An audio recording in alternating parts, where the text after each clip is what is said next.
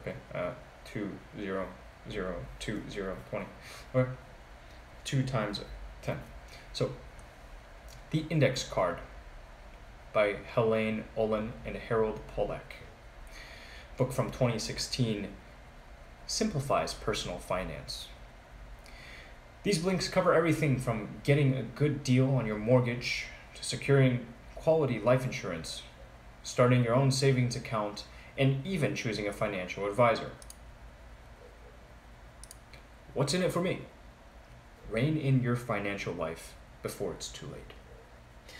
In 2013, a University of Chicago professor named Harold Pollack interviewed the financial journalist Helaine Olen. Somewhere along the conversation, he told her that personal finance was so simple that everything you needed to know about this topic be written on an index card. In fact, he was so convinced of this point that he proved it by grabbing an index card, writing down a set of rules, and posting a picture of it online. It wasn't long before the picture went viral, and the pair understood there was a book behind this idea. In the fleshed out version of this viral financial advice card, the authors explain in precise detail how you can control over your finances and why you should. The good news is that it really is simple. By adopting a few straightforward tips, you can begin saving for the future today. The trick make smart financial decisions, seek advice from the right people, and start immediately. Moving forward, we'll learn why you should pay for your financial advice, how your employer can help you save for retirement, and the secret to getting out of debt. Saving money today is hard, but a few tips can help. We've all been there. You cash your paycheck, only to see it disappear as you pay rent, cover utilities, and buy groceries. And let's not forget the ever present threat of an unexpected car repair. So, how can you pull yourself out of this financial debacle and gain control over your money? Naturally, it starts with saving, but that's easier said than done. After all, the median annual household income in America dropped by $3,000 between 1998 and 2013 as wages decreased or stagnated. At the same time, the cost of living has gone up. This perfect storm of plummeting wages and rising costs has resulted in some frightening statistics. A whopping 27% of US households have a net worth of just $5,000 or less. 47% of Americans say they couldn't come up with $400 in an emergency without borrowing money or selling something. Since so many people are struggling to get their financial houses in order, if you don't have any savings, you shouldn't feel bad. But you should take action. If you fail to come up with a savings plan soon, you'll never be able to invest for the future or even pay off your debt. Think of it this way if you save just 10% of your income every month, by the end of your first year, you already have a whole month's salary put away. And here are a few tips to get you started. First, use cash instead of plastic. And this may sound silly, but lots of studies have shown that people spend over 20% more when paying with a credit card or online than they do when they pay with physical money. So spending bills and coins is less abstract. It's harder for people to part with them. You can also set up an automatic savings account. These automatically deduct and save a portion of your paycheck every month, which means you don't have to endure the temptation of spending it. Lots of employers can reroute some of your salary toward a savings account for you. Take financial control by repaying your credit card debt in full. When your grandparents stumbled upon a must have purchase that they didn't have the cash to cover, they paid for it in weekly installments, eventually paying off the item in full. But today, no such delayed gratification is necessary. Credit cards have removed this barrier, and the average credit card owning American has 3.7 cards to her name. However, this doesn't spell financial freedom. In fact, it's a recipe for financial doom. That's because this rapid transition toward easily accessible, high interest credit means that the average American household bears a shocking $7,000 in credit card debt. Here's why. In the 1970s, the credit card companies realized how much money they could make from people racking up massive debts and never paying them back in full. The profits these companies now reap are a result of massive interest rates that are paid monthly by consumers who never managed to pay off the principal on their debts. That's why you should always pay your full credit card bill, not just the interest. Unfortunately, only about one third of credit card holders take this route. How come? Well, psychologists think it's because of a concept known as anchoring. People see the minimum required payment prominently displayed on the statement and anchor their thoughts about how much to pay based on that minimum. If you fall into this category, or if you simply can't pay off all your bills right away, just adopt this simple strategy. First, work out the annual percentage rate, or APR, of each debt. This number refers to the interest that's charged on a debt over the course of a year. It's important because the fastest way to get out of debt is to pay off the debts with the highest interest rates first. So make a list, ranking all your debts by APR, highest to lowest. From there, prioritize those with the highest interest while making minimum payments on the others. Once you pay off your first debt, just move down the list until they're all gone. We call this snowball method. Shop around for your mortgage to save thousands. The budget people set when shopping for a house is generally based on the amount they can borrow, but invariably people fall in love with a dream home. Before long, they begin to wonder if they can stretch their mortgage just a little bit. Unfortunately, this is a huge mistake. Rather than reaching past your price bracket, you should assess what you can afford. To do this, there's a simple rule of thumb. Only buy a house if you can put down 20% of the purchase price. In other words, if you have $20,000 for a deposit, you can afford a $100,000 house. This is important because the bigger your initial deposit, the lower your monthly mortgage payments will be. You'll have borrowed less money and therefore have less to pay off. In this way, a higher deposit can save you thousands of dollars over the lifetime of your loan. It may even result in a lower interest rate as well. That's because smaller loans are less risky for lenders, and they aren't compelled to charge as much interest. Beyond that, the bigger your deposit gets, the less likely your house's market value is to drop below what you owe on your mortgage. This is a real threat the housing market crashes and you need to sell your property urgently. After all, in such a case, you likely wouldn't have time for the housing market to recuperate. So a 20% deposit is key. Once you've got one, you're ready to start shopping for your mortgage. That being said, research has found that just about 50% of people do shop around for a home loan. Why should you? Well, consider the difference between settling for a $200,000 loan at 4.5% compared to shopping around for one at 4%. The first loan will run you an additional $700 a year. Over a 30 year period, that's an extra $21,000 just because you didn't take the time to look at your options. That's big, big money. Start saving for retirement today. Make the most of all your options. Imagine you've just started a new job and are signing your contract and other forms. You come across one that asks what percentage of your salary you'd like to contribute toward your retirement plan. You're young and healthy, so you toss it in the trash. Just like that, you, have, you may have thrown away your future. This mistake can easily be avoided. That's because the common failure to save for retirement often stems from faulty logic. People tend to think they'll never retire, while the majority of retirees report being forced to stop working sooner than they had planned. In fact, just 20% of people work past age 65. You never know when health difficulties, age discrimination, or a crisis in the family might take matters out of your control.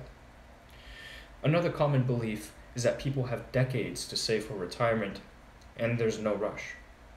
But compound interest complicates that assessment. For instance, if you save just $104 a month starting at age 25, put it into a pension fund that yields a 6% annual return, by 65, you'll have saved $200,000. However, if you wait until age 45 to start investing in the same fund, you'll need to deposit $430 a month to save the same amount by retirement age. So, how much do you really need to save? Experts estimate that you should put away 15% of your monthly gross pay to ensure a comfortable retirement. That sounds like a lot, but your employer could be your key to success. That's because lots of employers offer an employee match for retirement savings. In such plans, an employee employer will match your pension contributions, usually up to 6% of your annual earnings. So, make the maximum contribution you can reap all of the benefits. If you don't, you'll be among the 25% of people who, according to studies, fail to take full advantage of their employer matching options. Just think of it this way it's the closest you'll ever come to making money for doing nothing. This is true. Surveys routinely find about half of us are petrified of running out of money in retirement. Protect your family and finances by planning for the worst. It's no secret that shopping for insurance can be a depressing and demoralizing experience. Preparing for the future brings you face to face with all the terrible, the horrible things that could happen to you and your family. Who wants to do that? But it's even scarier to think about what would happen if something went wrong and you weren't properly insured. What would your loved ones do if something happened to you? Would they suffer financially? If so, you need life insurance. A life insurance policy pays out when the insured individual passes away. But not all life insurance is equal. The best protection you can get at the lowest cost comes in the form of term insurance. This is a type of life insurance policy that's limited to a set amount of time, in the author's recommendation, a 30 year period. During that time, the policyholder makes an annual payment to keep herself covered, and the policy can be canceled on a yearly basis. If you don't want it anymore, you just stop making your payments, your coverage goes away. But most importantly, when shopping for term life insurance, get a policy that has stable annual payments throughout its life. So, life insurance is key for covering the worst possible outcome. But things go wrong.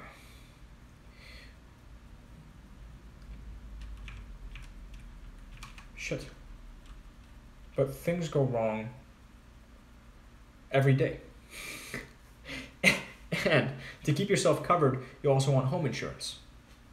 A good home insurance policy is really insurance on your net worth, since your home is likely to be your family's most valuable asset. That's why it's crucial to know that any given what any given policy does or doesn't cover. So when you shop around, think in worst case scenarios like gale force winds destroying your home, a forest fire overtaking your town, or severe flooding. Pose these scenarios to the insurance salesman and ask if the policy would cover you. But his word isn't enough, you also need it in writing. Getting it down on paper will prevent vital claims from being denied due to technicalities. Quote If you have teenage children, make sure to take the offered insurance on their cell phones. Just trust us on this one. Choose your financial advisor carefully and be prepared to pay her. If you're in a market for a financial advisor, you might come across people with titles as confusing as Chartered College Planning Specialist or Retirement Management Analyst. After all, financial advisors depend on convincing clients of their reputation.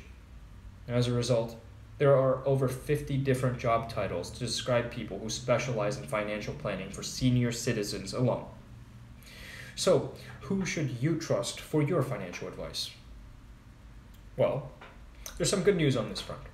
There's just one job title to look out for it's fiduciary. And you should always choose a financial advisor who follows the fiduciary standard. This is key since a fiduciary has a legal obligation to put your interests above her own. This means you can trust her to give you objective financial advice, to steer you clear of overpriced investments, and to keep your interests at the forefront.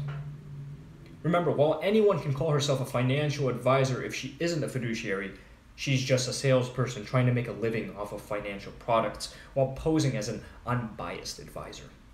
These so called advisors have zero legal obligation to put your interests above their bottom line. Sound financial advice isn't free. Make sure that your financial advisor is being paid by you and you alone. This is important because lots of non fiduciary financial advisors offer services for free only to push you toward particular investments on which they collect the commission. By contrast, while the fees that fiduciaries charge can take multiple forms, they're all valid. You might be charged an hourly rate that ranges from $50 an hour for advice on how to get out of debt to $500 an hour for specialized investment advice. Certain fiduciaries may even charge a flat rate for an agreed upon group of services like a budget review or comprehensive financial plan. Whatever tier you choose, find yourself an advisor that will give you sound advice and get your finances in order today.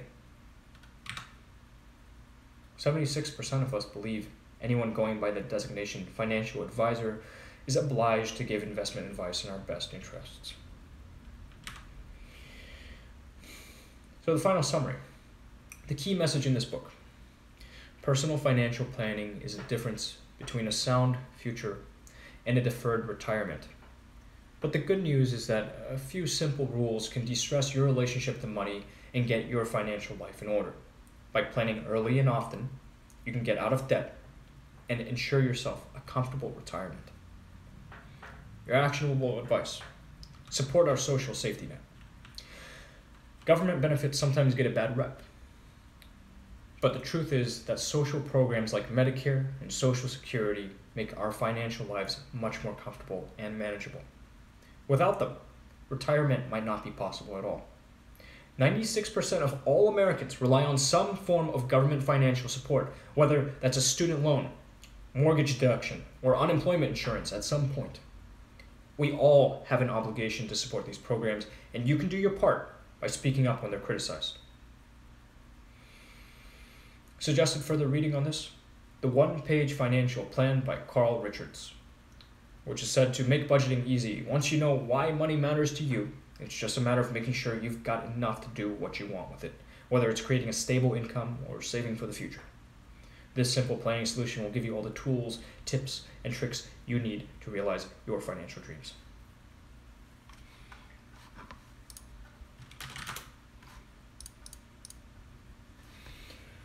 Woo, that's another one. All right. Sweet. And the the usual deal here, the usual spiel. If you liked that, you can sign up and get access to similar material across a wide range of subjects. Every single day, you're entitled to one free blink, which is what I just read you. And if you sign up through that link, uh, I'll get seven days of unlimited access. Who knows, I might even use more of it. But Blinkist comes widely recommended by a lot of folks. Um, I've only recently started looking into it after enough prodding. So give it a look, especially if you like just quick summaries of actionable information. Stuff that will help you